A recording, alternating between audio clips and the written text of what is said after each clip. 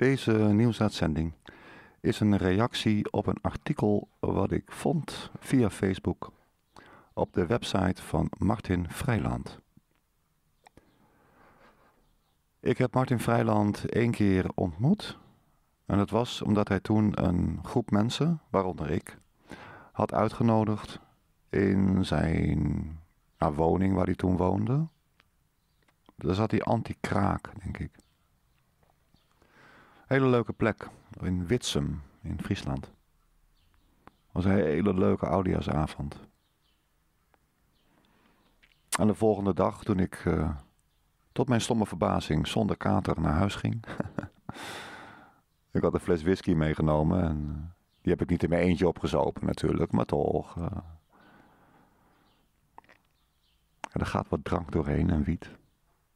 En de volgende dag, voordat ik weer in ging rijden, dan kreeg ik nog een knuffel van Martin. Dat is mij lang blijven heugen. Was, uh, ja, bij deze, Martin, als je dit hoort, uh, nog bedankt, jongen. Even mijn uh, theepot pakken.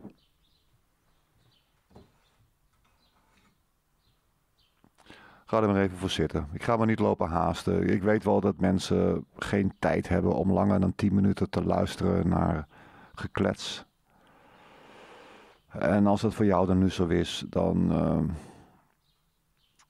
ja, kort samengevat, uh, ik heb kritiek op een artikel van Martin Vrijland. En als je er geen tijd voor hebt om te horen waar het precies over gaat, want ik ga het niet in 10 minuten eventjes eraf rachelen, dan, dan moet je maar gewoon stoppen met luisteren. Ga je een filmpje kijken waarin katten gekke dingen doen. Ook leuk. Daar leer je ook wat van hoor. Dan leer je toch van dat katten hele gekke dingen kunnen doen. Nou, terug naar het artikel van Martin Vrijland.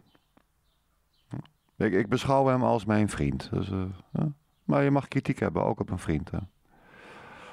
De titel is: Als profetieën in vervulling gaan, is dat dan bewijs dat jouw geloofsovertuiging de waarheid is?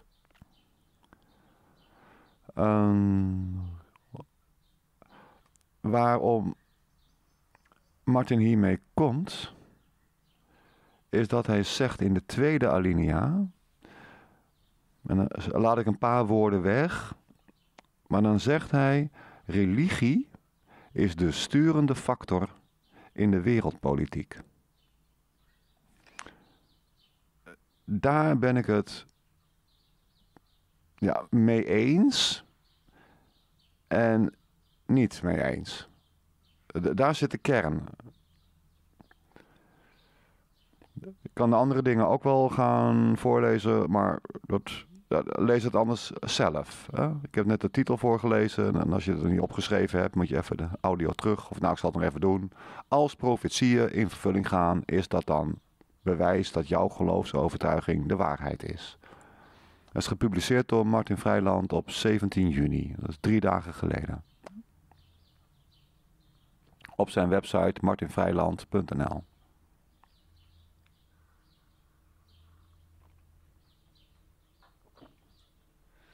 Nou. Hij noemt als voorbeelden van waarom werd de staat Israël opgericht. Waarom zijn veel Joden naar Palestina getrokken? Waarom verklaarde Trump afgelopen jaar Jeruzalem tot de hoofdstad van Israël? En waarom stelde hij dat de Golanhoogten tot Israël behoren? En hij vat het dan samen en hij zegt: ja, dat is op religieuze gronden. Religieuze drijfveren zijn verweven in alle grote politieke stromingen wereldwijd. Daar heeft hij wel gelijk in. Maar het gaat om bepaalde zogenaamde religies. Er zijn. Nou, en dan, nou ja, je moet eigenlijk zeggen: eentje is de baas. Dat is de Romeins-Katholieke Kerk.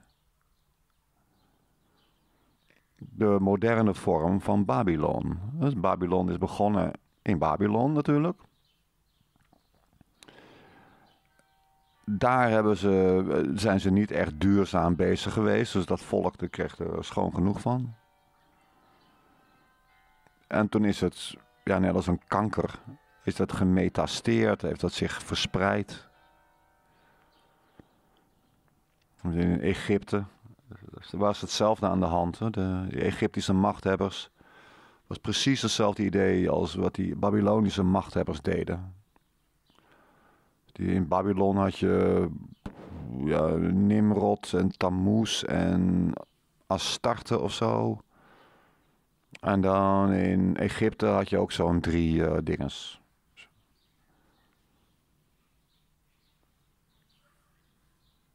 Daar heet het dan weer anders. Is het Horus en bla bla bla en bla bla bla bla. Iets van Horus, Osiris en. Nou, gooi maar in mijn pet. De bedoeling is dan eh, dat, erachter zit, is dat de religieus leider, dat is tevens de politieke leider. En hij is de politieke leider omdat hij de religieuze leider is. Dus het een religieuze leiderschap, dat is dan gegeven door de onbekende macht of zo. Hè? Genocide en uh, je kent het wel. En daaruit volgt dan dat zo iemand ook de baas mag zijn van de politiek. Dus religie als sturende factor in de wereldpolitiek. Dat is zo oud als uh, Babylon.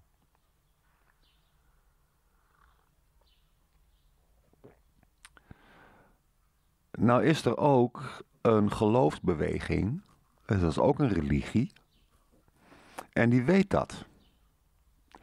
Die is op de hoogte van het feit dat het geloof gebruikt wordt als instrument in het bedrijven van politiek. En dat geloof, dat wordt beleden, zo zeg je dat, door de bijbelgelovende christenen, met name. Ik zeg daarbij met name, want Joodse mensen die zich beperken tot het Oude Testament, die zouden dezelfde conclusie moeten trekken. Want die hebben ook het boek Daniel. En voor ons christenen is het boek Daniel uit het Oude Testament erg belangrijk. Daniel, daarin wordt gesproken over Babylon. In dat boek, hè?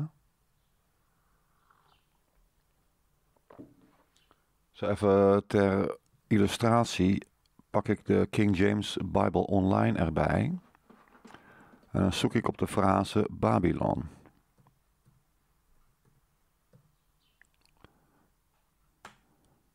En wat krijgen we dan? 265 keer. Staat het erin? In het Oude Testament staat het 254 keer. En in het Nieuwe Testament 11 keer. En Babylon staat voor. Ja, precies waar het voor staat. Hè? Uh, het is het heidendom het meer godengeloof, wat een politieke agenda er doorheen drukt. En religie gebruikt als sturend ding.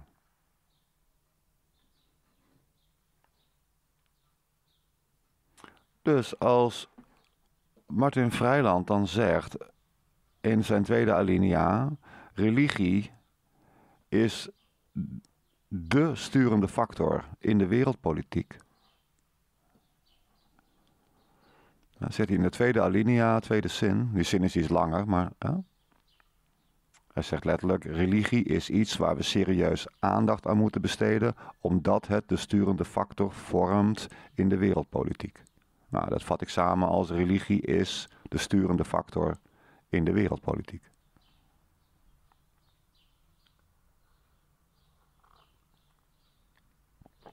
Dat zegt hij. En daar heeft hij gelijk in. En die waarheid, want het is waar wat Martin hier zegt. Het is waar. En dat staat in de Bijbel.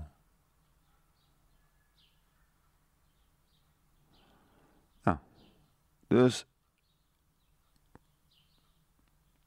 eh, is de zin niet helemaal correct geformuleerd als je religie ziet als de verzameling, de totale verzameling van iedereen die maar wat beweert over God en een doel van het bestaan.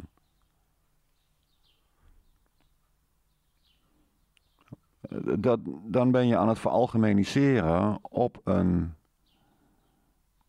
uh, ja, een, op een voor mij persoonlijk dan, hè?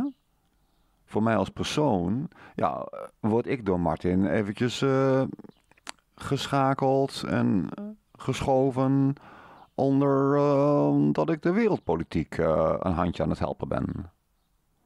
Terwijl het juist het omgekeerde aan de hand is.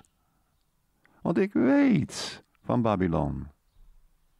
Ik heb een Bijbel gelezen in mijn leven.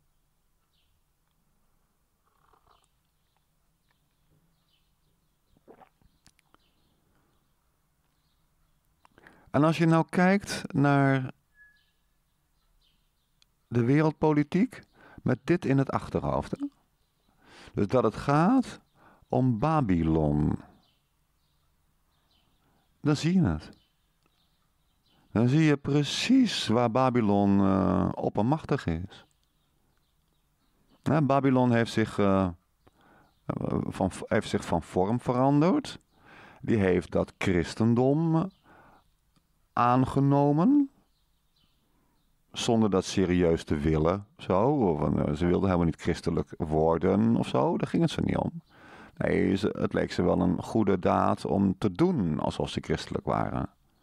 Uh, de paus van tegenwoordig die noemt zich de plaatsvervanger van Jezus Christus.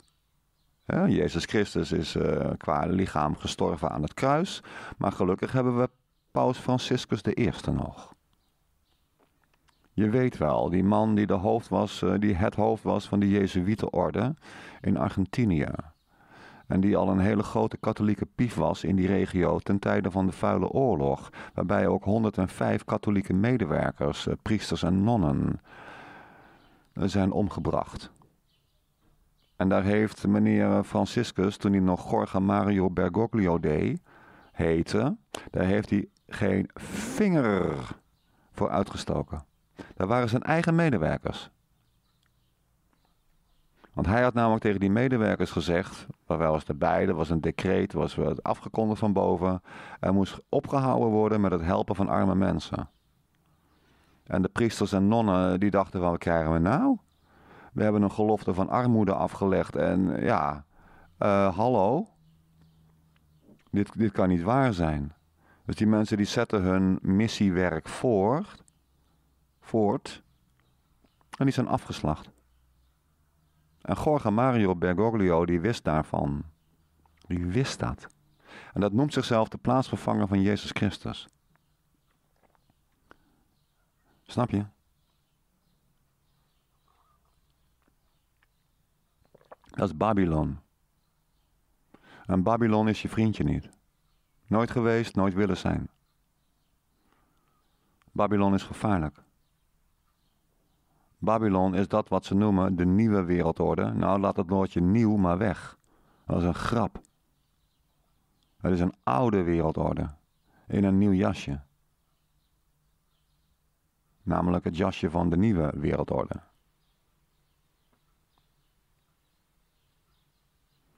En als je het zo bekijkt, dan zie je heel duidelijk die paus zitten. Die beweert dat hij de plaatsvervanger is van Jezus Christus. Terwijl hij wist van moordpartijen en die hield hij netjes zijn mond over. Nou, dat lijkt me niet echt een Christusfiguur, vind jij wel? De man die ooit gezegd heeft: Ik ben de weg, de waarheid en het leven. Nou, dat kan je in het geval van Jorge Mario Bergoglio niet zeggen. Ik ben de weg die zijn bek houdt als er gemoord wordt.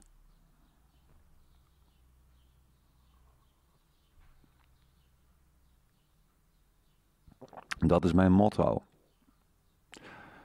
Dat is de antichrist. Waar de paus een vertegenwoordiger van is. En nou is de paus, want die Jorge Mario Bergoglio, die is niet helemaal zo knijs, hè?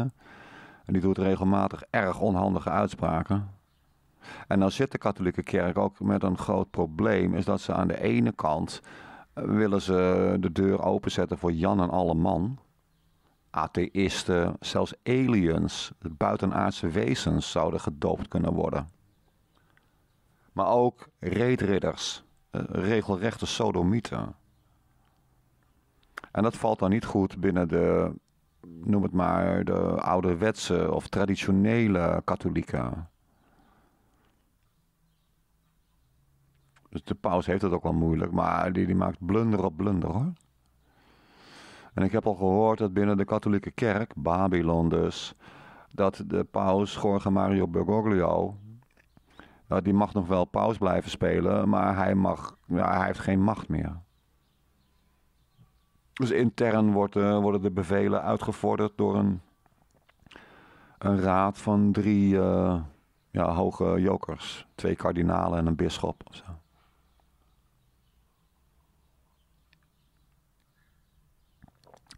Die verordeneren de bevelen.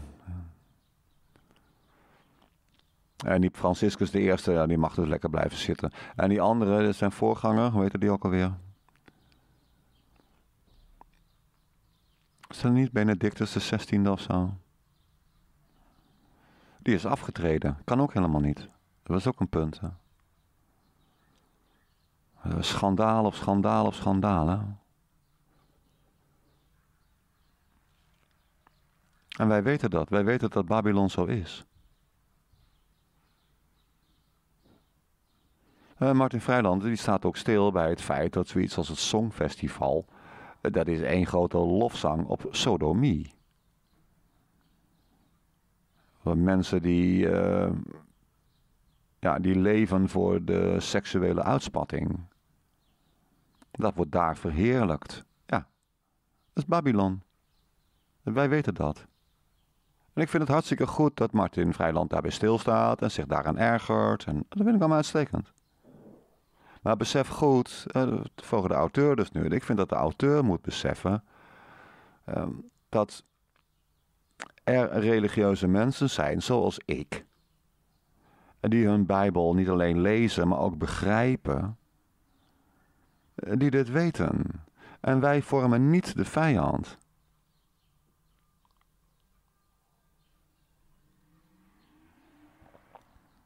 Ja, ik met mijn overtuiging, ik ben niet onderdeel van de sturende factor van de wereldpolitiek. Niet. En ik ben wel religieus. Ik ga niet naar een kerk.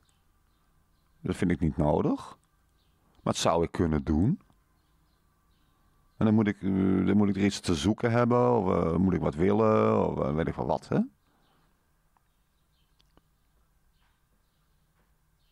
Nou, en als dat niet is, dan heb ik er niks te zoeken. Door Bijbel lezen, dat doe ik met mijn Bijbelgelovende vrienden. En dat doen we nu via internet, heel modern. En binnenkort, als Michael weer kan, dat is een Duitser. Ja, ik ben heel multicultureel, ik ga ook met Duitsers om. Als Michael weer tijd hebt, dan gaan we weer lekker verder met Genesis. We zijn gebleven bij hoofdstuk 7. Nou ga ik nu even verder bij uh, het werk van het artikel van Martin Vrijland. Daar heeft hij een soort eh, kadertje. En dan trekt hij een vergelijking tussen, hij noemt dat islam, ik noem dat Mohammedanisme, want islam is Arabisch. En, hè? Nou heeft Nederlands meer, Nederlands meer dan Duits of Vlaams de neiging om buitenlandse woorden op te nemen. Maar we noemen dat het Mohammedanisme. En aan de ene kant dan, en aan de andere kant heeft hij het over christenen. Nou, dan zegt hij dat de Mohammedanisten, dat die geloven in de komst van de Mahdi. De Mahdi, de beloofde en in de komst van Isa, eh, Arabisch voor Jezus. En in de komst van de Dajjal, de Dajjal moet ik zeggen, Dajjal, de grote verleider.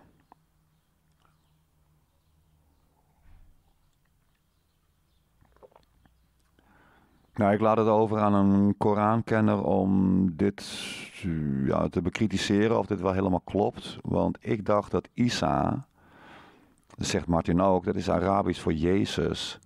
En dat, hun, dat in de Koran staat dat Isa niet gaat komen, maar dat hij gekomen is. En dat ze respect hebben voor hem en dat ze hem zien als een van de profeten. Dus,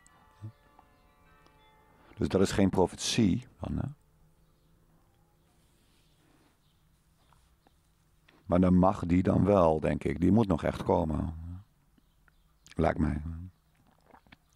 En dan gaat hij eronder, gaat hij zeggen, ja, dat is aan de ene kant de Mohammedanisten, het Mohammedaanse geloof, de Mohammedanen.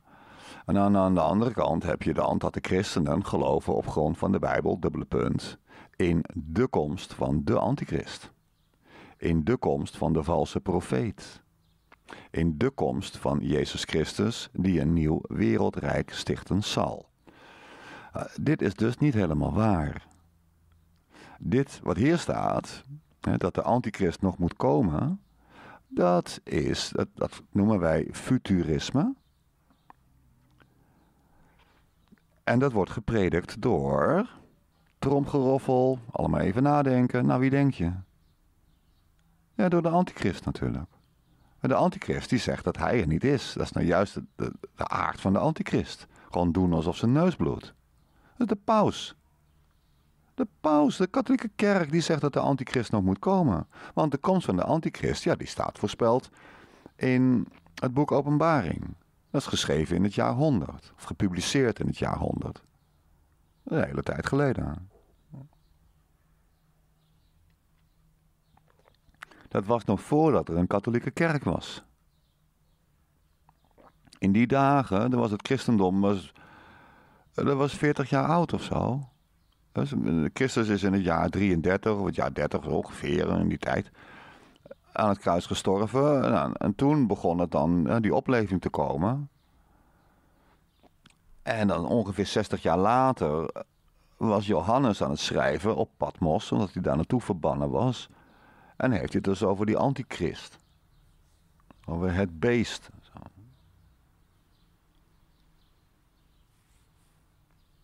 Toen was er nog geen katholieke kerk. Nee, dat duurde 300 jaar en toen was hij er. Of 200 jaar ongeveer en toen was hij er. De katholieke kerk is officieel gesticht met het concilie van Nicea. In 324, 325. Dus 200 jaar na de schrift van het, ja, het schrift van Johannes was daar de antichrist. Dus de christenen geloven niet in de komst van de antichrist. De christenen geloven in dat de antichrist gekomen is. En die heet de katholieke kerk.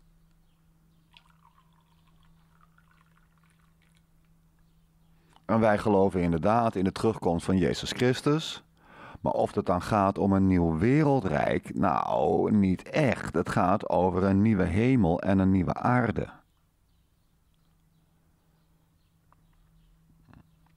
Je kan zeggen, de schepping begint dan overnieuw. Want in het begin schiep God hemel en aarde. Weet je nog?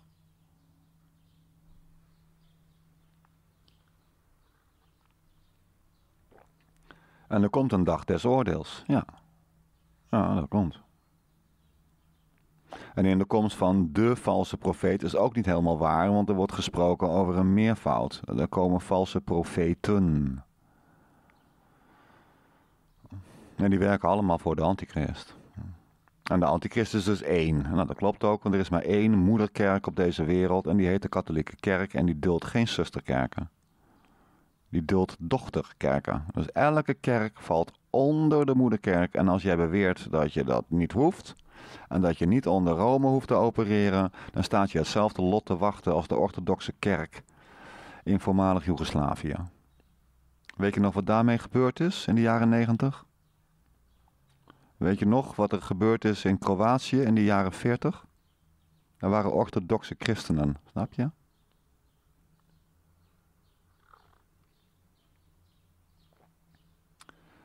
Als jij uh, het, het, waagt om een kerk te stichten die zich niet lieert aan Rome, vroeg of laat krijg je bezoek.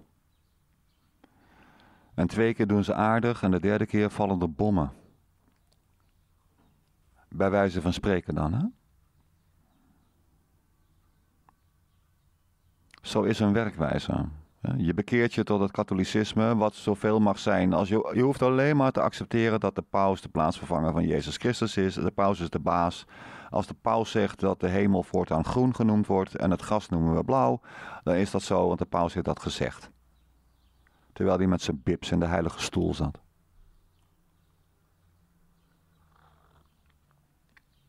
Wij weten dat. Wij bijbelgelovende christenen weten dat. En dat wij religieus zijn en dat wij gelovig zijn en dat wij een doel zien in het leven. En, ja, dat wij onze moraal funderen op een boek. Dat kan Martin Vrijland verschrikkelijk vinden, daar kan hij puistjes van krijgen, dat, dat maakt niet uit.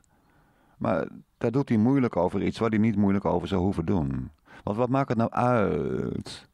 Dat ik hier in King James uh, lees en dat ik een statenvertaling in huis heb. En wat maakt het nou uit? Je doet er geen vlieg kwaad. Uh, mijn dochter is atheïst. Ja, nou ben. Denk je dat ik dan tegen haar ga zeggen: van, Jij komt in de hel en je komt mijn huis niet meer in, want je bent atheïst? Nee, wel nee, ik krijg er de slappe lach van.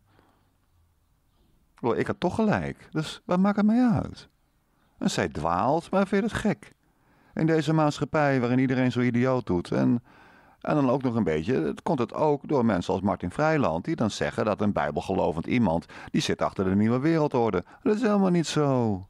Dat is het, en passant uh, zit Martin Vrijland hier, een bevolkingsgroep, iets, ja, van iets te beschuldigen, iets in de schoenen te schuiven, wat ze niet gedaan hebben. En dat is oneerlijk.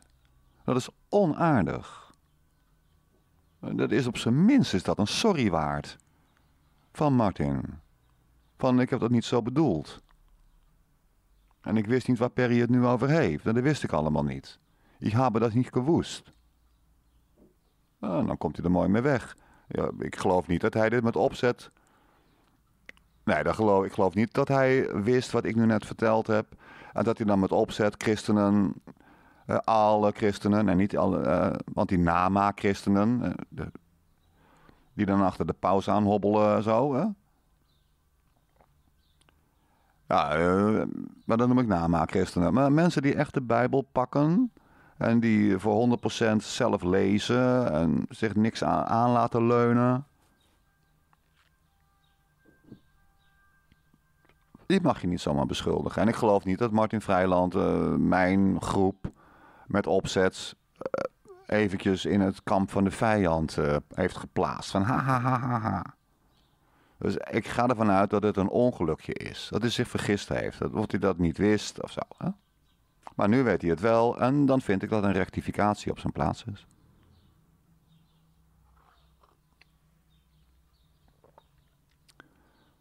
Ja, dat is mijn mening. En doet hij dat niet, ja, dan moet hij het zelf weten.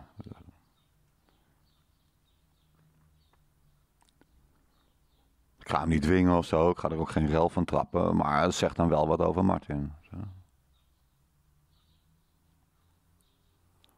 Je kan niet alles zomaar beweren. Ten meer, en dan pak ik even mijn statenvertaling erbij.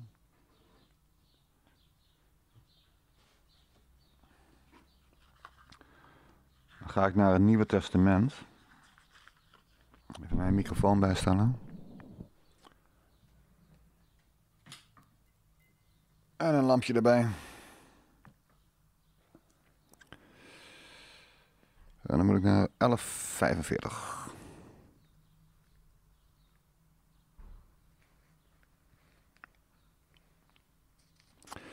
En dan pak ik uh, de brief die Paulus, apostel Paulus, heeft gestuurd aan de Efeziërs. Die zaten dus toen in Efeze. En dan hoofdstuk 6 van die brief. En daar staat in vers 12: Want wij hebben den strijd niet tegen vlees en bloed, maar tegen de overheden, tegen de machten, tegen de geweldhebbers der wereld der duisternis, deze eeuw, tegen de geestelijke boosheden in de lucht.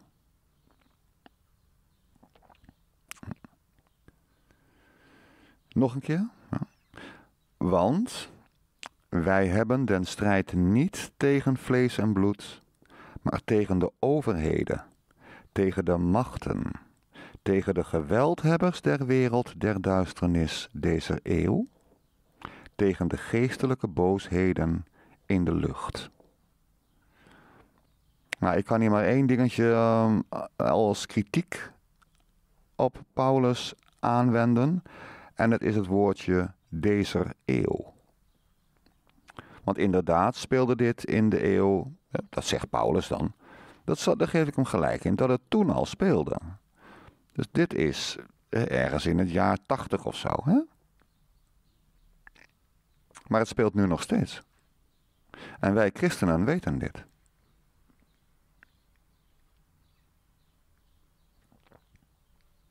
En dat begint dan met die want. Want wij hebben den strijd niet tegen. Dat komt omdat het een conclusie is. Want daarvoor staat in vers 11. Doet aan de gehele wapenrusting Gods, opdat gij kunt staan tegen de listige omleidingen des duivels. Want wij hebben den strijd niet tegen vlees en bloed, maar tegen de overheden, tegen de machten, tegen de geweldhebbers der wereld der duisternis deze eeuw. Dus ook van deze eeuw dan natuurlijk. Hè? Tegen de geestelijke boosheden in de lucht.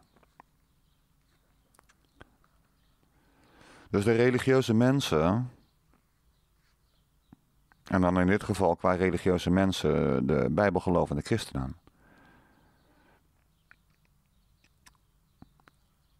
Ja, die staan aan de kant van de onderdrukte. En niet aan de kant van de machthebbers. Aan de niet aan de kant van de geweldplegers der wereld der duisternis. Geweldhebbers der wereld der duisternis. Niet aan die kant.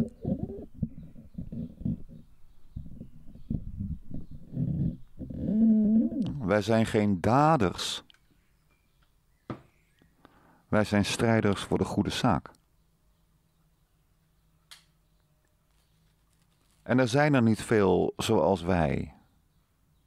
Ik ken hier in Arnhem niemand die zo is. Ja, misschien één man. Ja, ik ga ook niet naar een kerk, maar hè, misschien dat bij die kerk er nog meer zijn. Bij de kerken, misschien, misschien. Hè. Maar ik ken er dus iemand en die woont dan, uh, in Leuven. Ja, dat is wel even 200 kilometer verderop. En ik ken iemand, of ja, nou, die ken ik via internet. Die, uh, die woont in in de buurt van Venlo, maar dan over de grens. een andere vent en die woont in Hamburg. Ja. En hier in Arnhem, ja, ik één iemand die ik uh, persoonlijk ken. En dat is een bijbelgelovende christen. Nou, alhoewel, nee, ik overdrijf. Ze wordt hier geëvangeliseerd. Op het kerkplein. Daar staan ze wel eens met een bus. En dat zijn ook uh, broeders en zussen in de Heer. Ja, en je komt ook wel eens tegen als ze aan het evangeliseren zijn in de stad. En dan lopen ze in de rond. En, uh, ja, dan zeg ik altijd even hallo natuurlijk. Hè? Stel ik me voor en dan zeg ik van, nou, ik ben die en die. En uh, ja, ik ben zelf een bijbelgelovende christen. En wat leuk dat jullie bezig zijn. En dan kijken ze me heel blij aan. En, En ik had vorige week hier twee Jehovah's getuigen op de bank. En die vertelde ik dat, uh, um, nou, dat ik dus een bijbelgelovende christen ben. En, en dat mijn bijbel, mijn favoriete bijbel, dat is de, de King James, de koning Jacobus. En nou, de tweede op de rij, dat is een de Statenvertaling. En daar keken ze allebei heel blij. Hun hebben dan een eigen versie van de Bijbel, maar wel respect voor de Statenvertaling en de King James.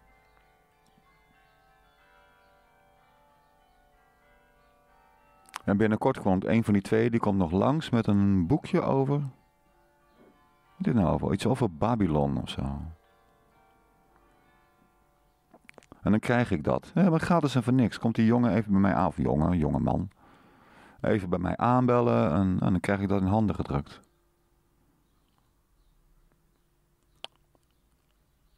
Misschien dat ik hem een donatie moet geven.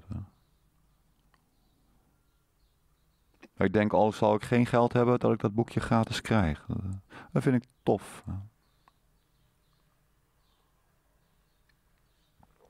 Ja, die Jehovah's getuigen, die doen dan aan uh, evangeliseren, dus van deur tot deur gaan of zo. Ja, dat doe ik niet. ik weet ook niet of dat wel zo de bedoeling is. Maar ik ga het niet verbieden en ik ga die mensen er niet om uitlachen. En als ik tijd heb, zijn ze welkom bij mij. Het is al de zoveelste keer hoor, dat ik Jehovah's getuigen over de vloer heb.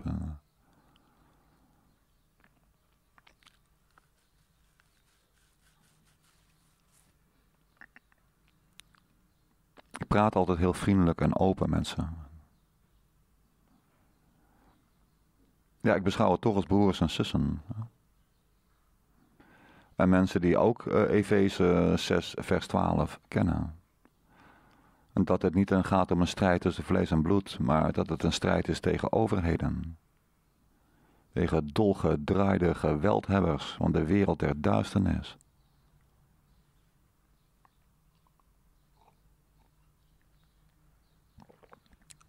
Ik hoop dat Martin dit, dit snapt. En, nou, serieus zou ik het op prijs stellen dat hij een, een, al is het maar een klein dingetje, een kattenbelletje of zo. En dan word je van, nou ja, zo sorry, uh, zo had ik het niet bedoeld. Of ik wist het niet. En als Martin wil weten waar ik dit allemaal op baseer, al die uitspraken over dingen als futurisme en is de paus wel de antichrist en dat soort dingen. Ja, uh, ja, ik weet dat.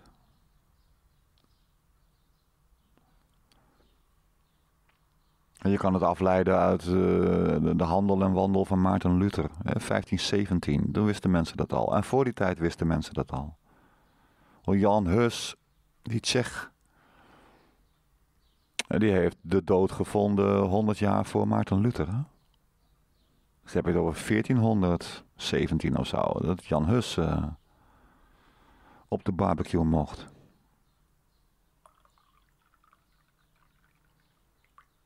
Omdat Jal Hus had gezegd van eh, die katholieke organisatie, dat is de antichrist. Dus, ja, ik, uh, je hebt die uh, Ierse predikant, weet je ook weer. Ik ben niet zo'n fan van hem, hij is trouwens overleden. Ian Paisley heet hij. Er was er een of andere bijeenkomst, politieke bijeenkomst, en meneer de paus, die was daar. En toen is Ian Paisley daar naar binnen gegaan en die had een bord omhoog gehouden. En daarop, op, daarop stond geschilderd, een heel lelijk lettertje of zo. En er stond op antichrist. En Ian Paisley maar brullen. Hij is de antichrist, hij is de antichrist, hij is de antichrist. En dat bleef hij maar herhalen. En terwijl hij dat maar bleef roepen, kwamen er... Die beveiligingsmedewerkers en die grepen hem onder de oksels. En, nou, en Ian Paisley is toch een stevige jongen. Maar ja, die was toen al wat ouder. Ja, die maakte geen schijn van kansen. Toen werd hij afgevoerd. Hij was toch een dominee, protestantse dominee, protester. Het protestantisme, dat is niet een stroming op zichzelf. Nee, het is een protest tegen de antichrist. En de vraag is of je protesterend moet zijn of dat het doel is in je leven. Het is natuurlijk niet echt positief om je leven te vullen met het protesteren tegen iemand. Maar ja, het is niet, dat is negatief namelijk, per definitie. Ja. Maar we hebben gelijk. Eh, de protesteerders hebben gelijk in hun protest. Dat, dat staat voor mij als een paal boven water. Natuurlijk is dat zo.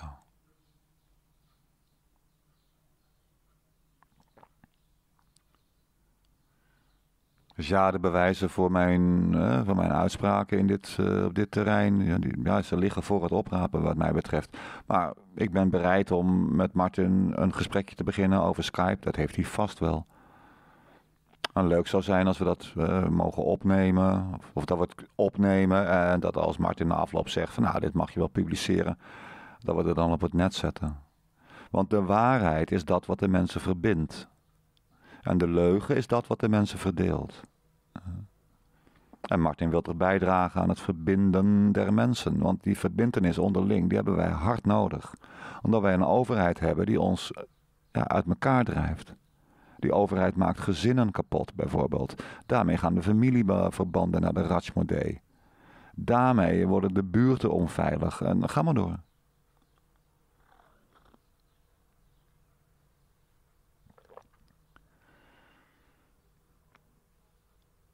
En wij moeten terug naar, naar de rust, naar de vrede, naar de veiligheid. Een vrede en veiligheid en rust die niet komt doordat er meer blauw is op straat of een verbeterde website voor het doen van een aangifte. Maar een vrede en een rust en een veiligheid die komt uit ons eigen aanwezig zijn in deze prachtige wereld. Daar, daar woont ons hart.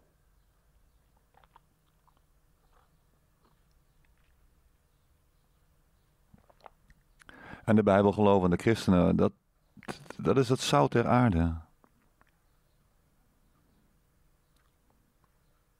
Dat zijn de vriendelijke mensen. Dat zijn de mensen die zich houden aan hun woord.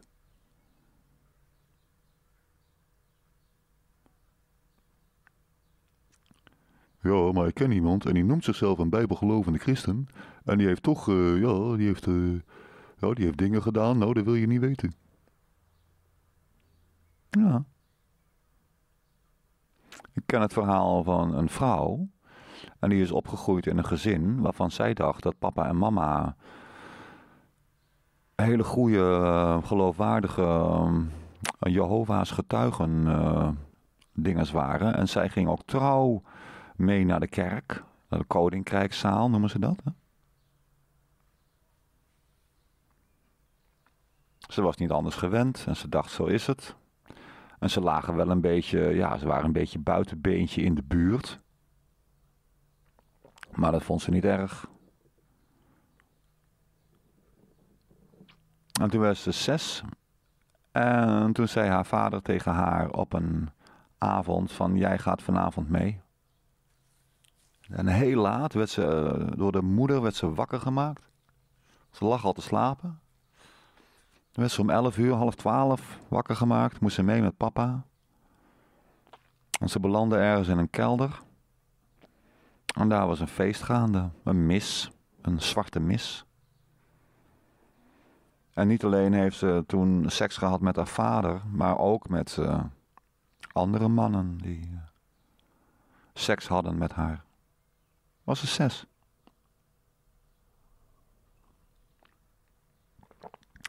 Ja, dat heeft ze uit de duim verzonnen, Perry. Nee, duim gezogen. Ja. dat zeg jij.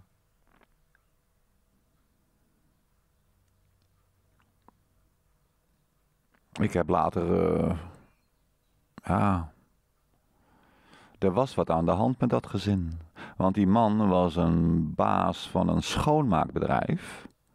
Maar zelf werkte hij ook als schoonmaker dat is niet echt de taak van een directeur, dacht ik. En hij maakte schoon bij de KNMV. Die man is inmiddels overleden, dus ik mag het zeggen. Hij was toen schoonmaker daar. Bij de Koninklijke Nederlandse Motorrijdersvereniging.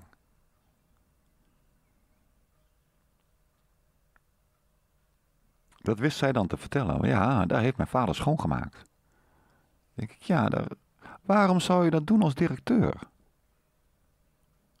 heb je toch je personeel voor? Of was je daar niet om schoon te maken, maar was je daar om een luisterend oor te hebben. Hè? Als een fly on the wall. Een vlieg op de muur. Was je daar een uh, informatie aan het verzamelen? Want de KNMV, de Koninklijke Nederlandse Motorrijdersvereniging, ja, dan denk je gelijk aan uh, hele zelfstandige jongens, hè? die zich niks laten aanleunen en die misschien wel ergens achtergekomen zijn en, hè? en niet bang uitgevallen zijn. Misschien hadden ze wel een akkefietje vanuit die zwarte misjongens. En het andere wat mij opviel, was dat ik langs ben gegaan in de straat waar zij dan opgegroeid is.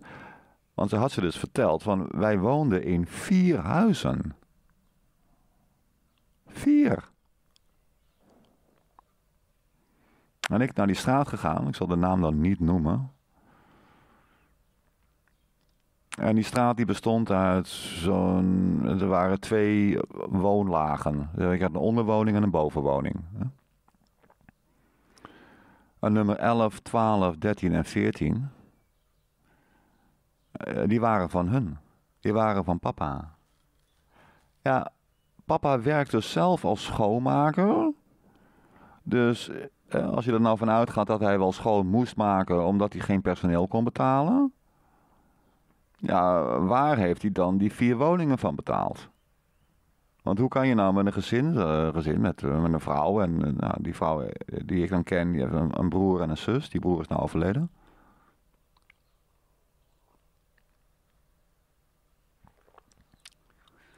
Waar heeft die man dat geld dan vandaan gehaald?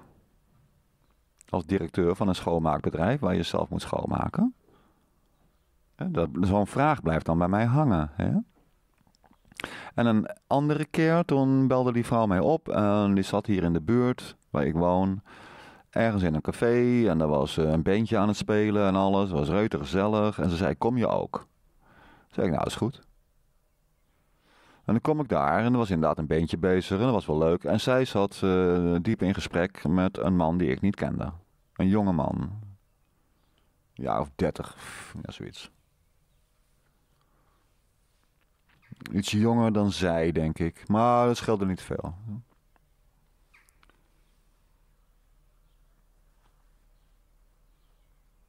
Ja, die twee waren in gesprek en ik denk, nou ja, ze hoeft niet gelijk als ik binnenkom uh, die man te laten zitten. Nou, dus ik wachtte rustig en toen liepen die twee liepen naar de rookruimte.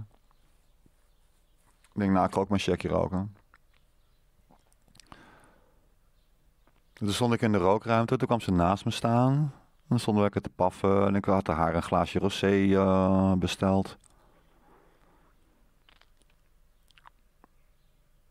En dan komt die man, die komt erbij staan. En die, uh, die zegt geen boe of bad tegen mij. En die zegt tegen haar, uh, meekomen. Ik dacht, wat? Je, dat klonk helemaal niet vriendelijk, hè?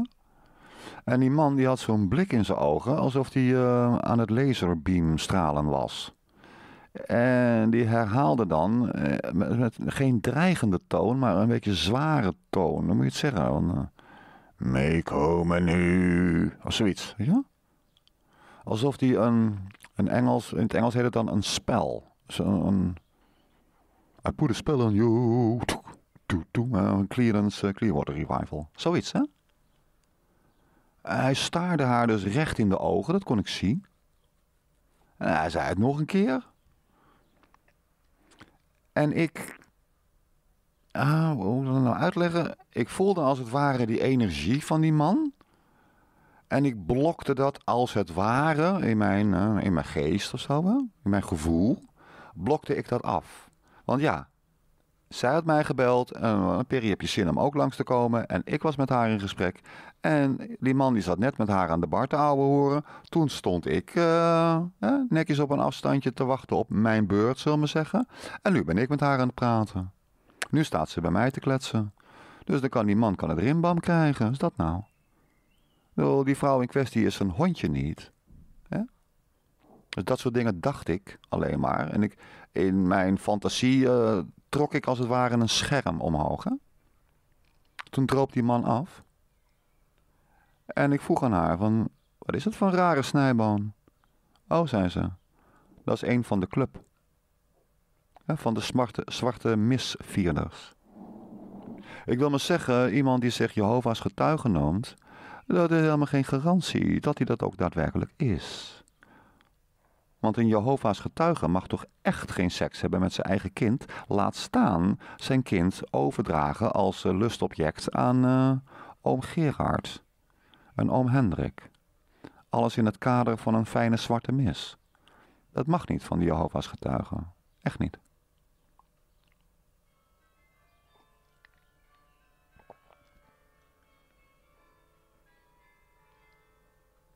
Ik liet het doorschemeren aan die twee Jehovah's getuigen die hier vorige week waren. En die keken mij ontzet aan en die zeiden van wat erg dat je dat hebt, uh, dat je dat hebt gehoord en wat erg dat dat is gebeurd. En, uh, ze zeiden als het ware ja, zoiets als gecondoleerd of zo. Hè? Ja, natuurlijk niet echt gecondoleerd, maar die vrouw leeft nog. Maar ze is geestelijk ongelooflijk geknakt.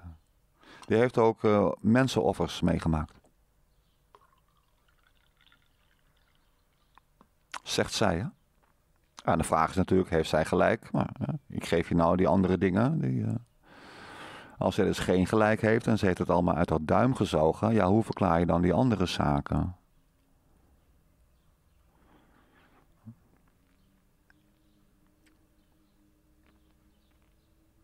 En zij vertelde dus dat ze bij mensenoffers waren, uh, aanwezig was geweest. En dat ze gezien had dat mensen van haar leeftijd of iets ouder, dat die gedood werden vermoord werden, geofferd werden. En dat ze toen dacht van, oh jee, oh jee, straks ben ik aan de beurt. Als ik dit maar overleef. En dan werd ze een jaar of 14, 15 of zo. En toen dacht ze, pff, ik heb het gered. Ja, en toen was ze getuige van het feit van iemand van 18 à 19. Die totaal onder de drugs eh, binnen werd gevoerd en niet wist wat er aan de hand was. En die was vervolgens dood. Want toen sloeg haar weer de schrik om het hart. En ze zei ook van, nou, ik doe er helemaal niks tegen, want als je de telefoon oppakt en je belt iemand op of zo, ze luisteren mee. Oh, zei ze, ik doe er helemaal niks aan. Ontzettend bang voor die mensen.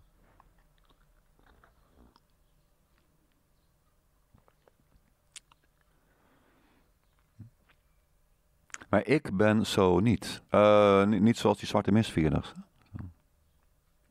Ik lees mijn Bijbel en ik ben lief tegen mijn kind. En mijn kinderen zijn atheïstisch en die laat ik lekker in haar waarde.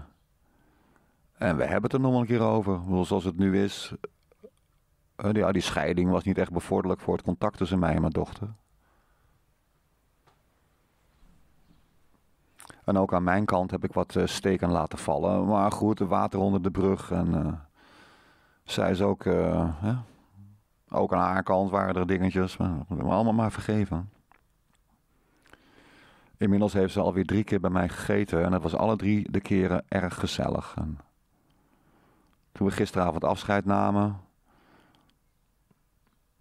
nou, toen zei ik tegen haar, nou we spreken niks af. Ik zei maar, je belt maar als het weer tijd is. Als je vindt dat het tijd is, dan bel je maar weer op. En, uh, dan kletsen we wat of zo.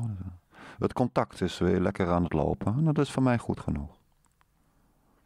En mijn moment komt wel. Zo.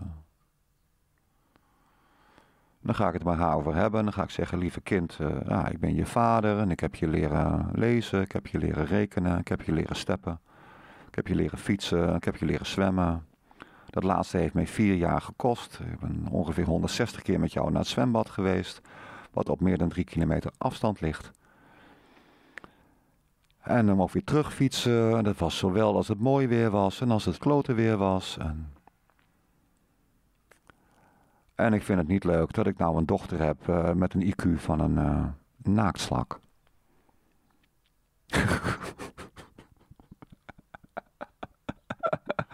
ja, dat begin klinkt wel lekker dramatisch. Hè? Maar ja, atheïsme, atheïsme kan natuurlijk niet. Dus, uh, ja, dat is een brevet van onvermogen qua nadenken. En dat heb ik liever niet. Als je natuurlijk al die energie in je kind stopt, dan ga je er toch van uit dat het op een dag leert nadenken. En dat het niet van die gekke dingen gaat zeggen als ik ben atheïst.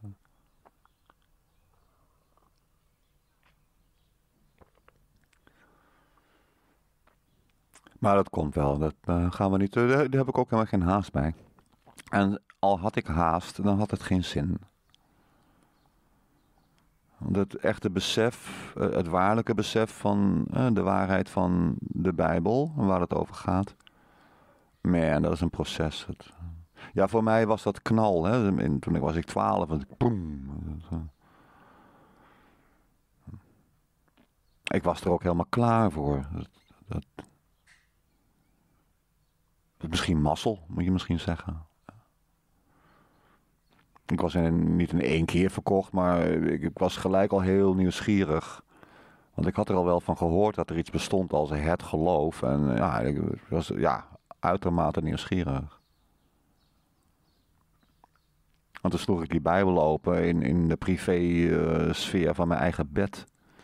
Ik kreeg een leenbijbel van de kerk. Ja, dat was voor mij dat geweldig.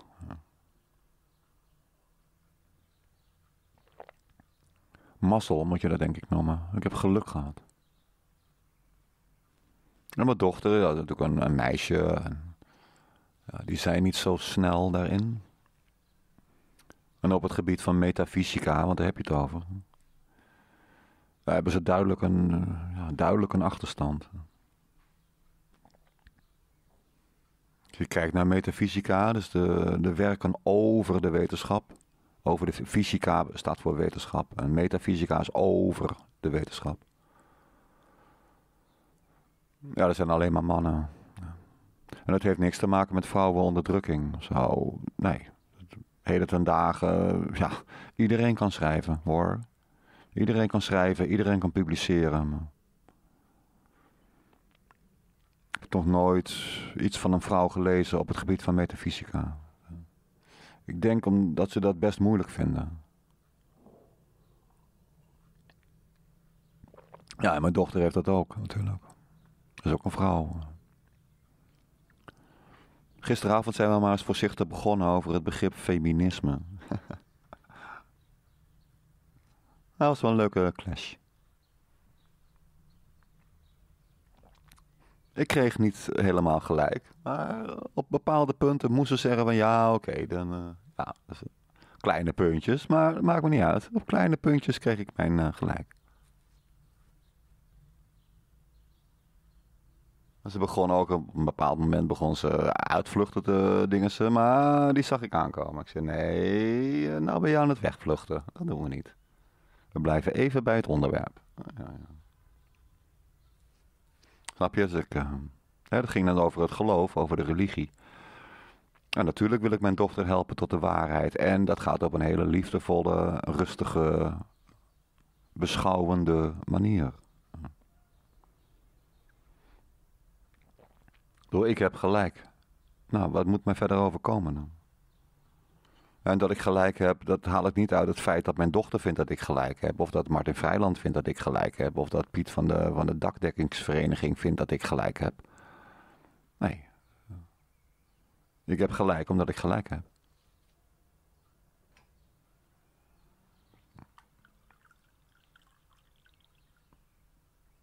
Ik heb gelijk omdat de Bijbel door mij wordt beschouwd als het woord van God. En daarom heb ik gelijk. En dat komt dan uit mezelf.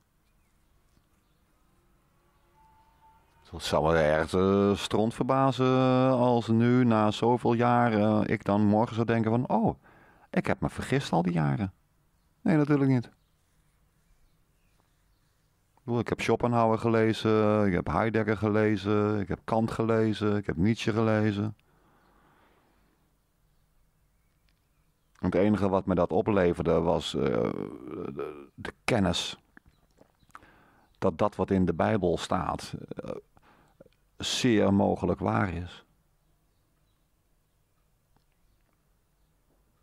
En zeer zeker niet weerlegd wordt. Helemaal niet. Dus ja, als je dan vanuit die hoek al die steun krijgt. Je hebt zo'n Nederlander en ja, Gerardus Heijmans, begin van de 20e eeuw. Hij heeft een boek geschreven, mooi dun boekje, dat heet Inleiding in de Metafysica. Ik heb het hier in huis. Nou, die zegt toch duidelijk, uh, als je het hebt over de aanwezigheid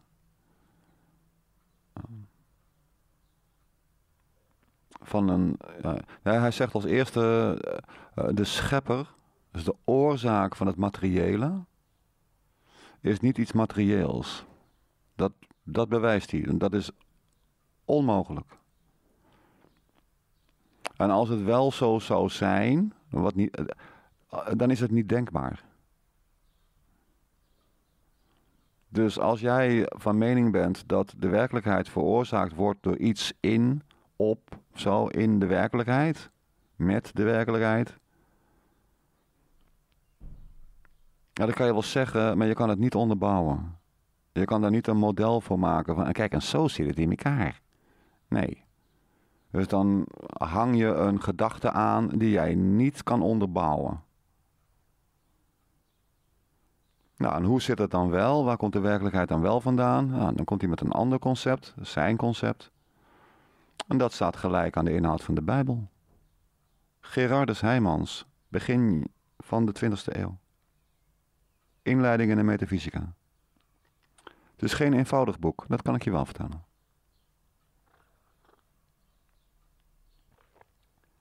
Maar het is ook niet een simpele taak om al dat geklets van al die mensen die achter idioten zoals Charles Darwin aanlopen,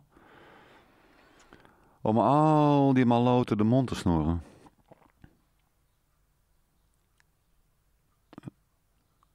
Was het ook weer uh, zo'n Chinees gezegde van maloten kunnen meer, of één maloot kan meer vragen oproepen dan duizend wijzen kunnen beantwoorden.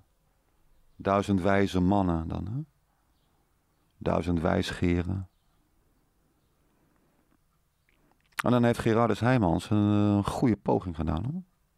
Hè? Naar mij niet alleen een poging, het is gelukt. Dus ja, ik heb gelijk. Nou, en die zei naar Martin om, dat, uh, om ermee om te gaan. Maar ik draag hem een warm hart toe, wat is dat nou? dat hij stilstaat bij al die dingen die hij ziet en daar zijn afkeuring over uitspreekt. Nou, daar ben ik helemaal met hem eens. Ik hou ook niet van het gezeur van de paus. Nou, en uit respect voor Martin en uit respect voor jullie zeg ik op zijn hamburgers: Tjus, een dag lieverds.